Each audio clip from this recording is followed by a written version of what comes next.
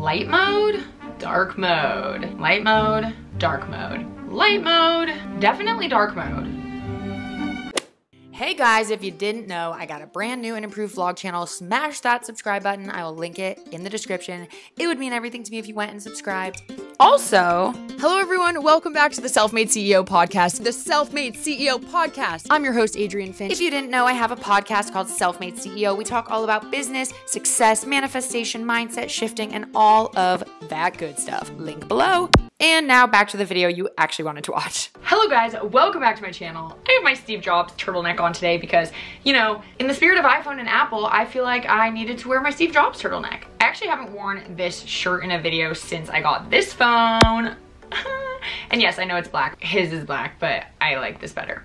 When iOS 13 came out and dark mode happened, I got so excited and then this morning I woke up, I went to Instagram and it was dark all of a sudden and they rolled out dark mode and I got super pumped. So I'm literally filming this today. We're gonna talk all about dark mode. We're gonna talk about Instagram dark mode and we're gonna talk about the pros and cons of it and honestly why I am a huge proponent of dark mode, the things you can do on it. And that's about it. Which apps have it, which apps don't. I am a firm believer in dark mode and by the time you're done watching this video, you'll probably be converted as well. okay, so if you guys didn't know, which you obviously knew, dark mode just rolled out for iOS 13 on Apple devices and for Android 10. So if you have Android 10 or iOS 13, you are able to use dark mode. Now, what is dark mode? Dark mode basically just means it's converting everything you see on your display screen into a darker version of it. So instead of the backgrounds being white and light and bright, they are dark and somber and depressing.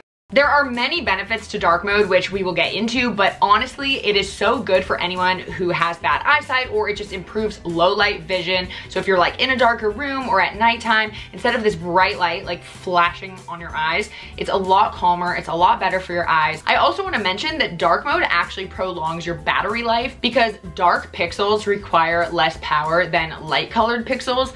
So, and actually some systems can operate on dark pixels with absolutely no power because obviously when your phone's like off, you aren't lighting anything up. So that'll definitely take care of any battery issues you're having. I mean, I don't wanna say it's gonna like solve all the problems, but I definitely think it'll be good. Let me know in the comments below if you guys have a phone, what kind of phone you have and whether you prefer dark or light mode. I would love to know. So how do you enable dark mode? I'm just gonna show you on iOS because that's what I have. So I'm sorry, Android users you can definitely Google it. Um, but it's pretty self-explanatory. A lot of the instructions are the same across. Also, I'm recording this in like prime rush hour in LA, so if you hear any honking, that's why. Okay, so in order to enable dark mode, you are going to go into your settings and then you're gonna go down to display and brightness. And here's where you have the option to do light, which is by default, or dark. So I chose dark. That's how, that's literally all you do to switch to dark mode. Now, it does give you the option to set your phone to be light when it's light outside and dark when it's dark outside, or you can set a custom time. And how you would do that is by just toggling on this automatic button. And then the options are it can be light until sunset. So sunset to sunrise would mean that when the sun rises, it turns to light mode. When the sun sets, it turns to dark mode. Or you can do a custom schedule. So you can have it be light at a certain time, dark at a certain time. I personally just want to do one or the other. It kind of messes with my mind to go back and forth, but I do know some people who do like that. I personally don't. So I just keep it on dark baby. Now, you can notice right away some of the things that dark mode has. For example, the dock is a lot darker in dark mode. The notification center is completely dark as well. And if you force touch something, that is also dark. And if you're swiping between your apps, they're all showing up as dark. So when this first rolled out, I was just pumped because honestly, part of it is just about change. I like switching up the way something looks, as you guys know with my many what's on my iPhone videos. I like that. So I've been so used to, for years and years and years, having this light, bright, white background. And I just was pumped to have kind of a sleek, sophisticated looking, like new way to look at everything. I also switched my MacBook to dark mode because that actually came out, I think, before the iOS 13. Maybe it was at the same time, I don't know, I don't remember. But I already had started using dark mode on my computer and becoming familiar with it. And so then I immediately started using it on my phone. So let's talk about apps, okay?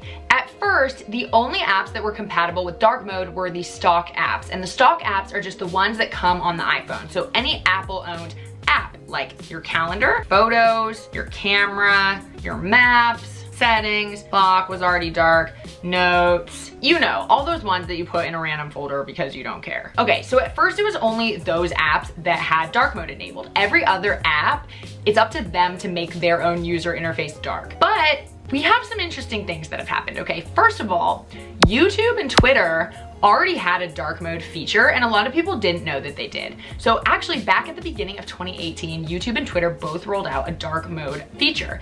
And if you guys are interested in enabling this, but you don't have iOS 13 or Android 10, here's what you do. You go to the YouTube app, click on settings, and then toggle on dark theme. And that makes everything dark. So you can do that even if you don't have iOS 13. Same with Twitter. If you go to Twitter, mine's already in dark mode. But if you just go to settings and privacy, display and sound, you can turn dark mode off if you want. I want it on of course. So that's interesting to know that some of these apps have already had dark mode enabled and they also did on desktop. So I actually never used to this, but I saw people using the dark mode YouTube on their desktop computers before desktops even had dark mode as a whole. So that's something that's cool if you wanna do that. So which apps have dark mode now? Because as I mentioned, some other apps have just been rolling out with dark mode and it makes me so excited. Instagram so quietly rolled out dark mode without telling like anyone. I just woke up this morning and it was dark and all of a sudden everyone on Twitter and everyone in person was like, oh my God, it's dark. So Instagram now has dark mode. Let me show you guys. So this is what it looks like. Unfortunately, you do have to have iOS 13. I actually just think the pictures look so much cooler with a black background. I don't know why, it just really pops out. I'm a big fan, so I was super excited about that. And how you enable dark mode on Instagram is that you have to just enable dark mode on your phone and it'll automatically enable it on Instagram. If you have Android 10, you can actually also enable it through the app itself, but not for iPhone. Ugh, it just looks so cool. Also, on the topic of Instagram, I don't know if you guys noticed, but they got rid of the activity section that has the following part. So you can no longer stalk people and see what pictures they liked, which I'm a little bit annoyed about. It's great for privacy, terrible for stalking. So here's a little list of the outside third-party apps that do have a dark mode now. Twitter, YouTube, Facebook Messenger, but not Facebook. Now this is interesting too, and I'm gonna, about to do this. Apparently to activate dark mode in Facebook Messenger, you're supposed to send someone a crescent emoji. So we're gonna do that right now, because I think that is so weird. I'm gonna send it to this store because I don't wanna be weird. Why do I feel like this is not a real thing? Just sent it. Okay, was that a joke? Was someone messing with me? Okay, I'm stupid. I think someone was messing with me, but I read that online. if you just go to your settings, and toggle on dark mode, then there you have it. But Facebook itself has not rolled out dark mode yet, so that's interesting. More apps that have it, Reddit, Twitch, Gmail, but for some reason Gmail isn't working for me. It's telling me when I Google to go to settings and turn it on, it's not working for me. If it's not working for you guys yet, if any of these aren't working yet, it's because they roll these features out, which means literally rolling out means that it's not all at once. It's like in waves. So you will get it, you should get it in a day or two days or three days, sometimes a week, but you will get the feature. So for Gmail, for some reason, I don't have it yet. All my software is up to date and I still don't have it, but that's okay. WhatsApp is another big one that is not available in dark mode yet for iOS, but it is available for Android. So it should be rolling out really soon for us iOS peeps. And I know a lot of you guys in the UK or in Australia and other countries use WhatsApp a lot. So that'll be really nice. Waze has it, which is my favorite navigation app, the Kindle app, and then most of the Google apps, Google Calendar, Calculator, Contacts, Google Drive have it. Apps that I would like to see have dark mode, Chrome. So Chrome has it on desktop, but does not yet have it on mobile. So that would be kind of nice. So to recap in terms of apps, all the stock Apple apps have dark mode available if you have iOS 13 or above. Well, that's actually the top one.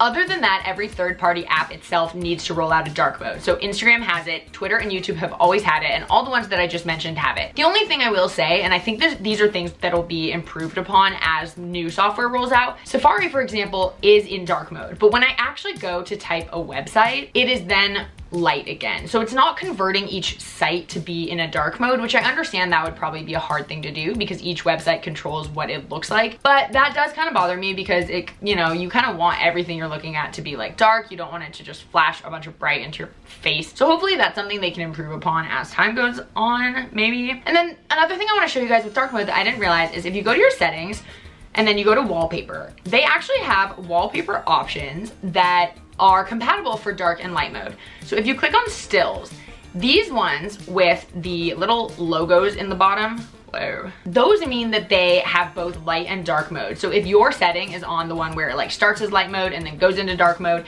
and if you have one of these backgrounds set, then your background will actually transition over from dark to light to dark to light, whatever, which I think is pretty cool. I do wish there were more, but I understand that this just rolled out, so I'm assuming they'll probably add more, but that is pretty cool. So I'm in dark mode, obviously, so this is dark, but if I were to be in light mode, it'd be light. So all in all, I personally love dark mode. I first switched it to dark mode and then kind of switched it back because I think I realized I just wasn't used to it. It was just a, very different, especially for things like messages and notes. I was just like, whoa, it's so dark. But then I switched it back to dark and I realized that is definitely what I wanna stick to, especially now that some of the apps are dark as well. That was part of it. My brain was very thrown off with like, oh, my whole phone's dark, and then Instagram is like bright. I didn't love that. So I love dark mode. I'm absolutely gonna keep it in dark mode. I also have my computer in dark mode, and it's just been really cool to experience like a new way of looking at everything. Thank you so much for watching this video. I hope you found it helpful and insightful, and I don't know what else in entertaining. And I would love to hear your guys' comments. Talk amongst yourselves in the chat. I wanna know like, what do you guys think of it? It's so different. It's crazy to think back to like my old videos about like iPhone 7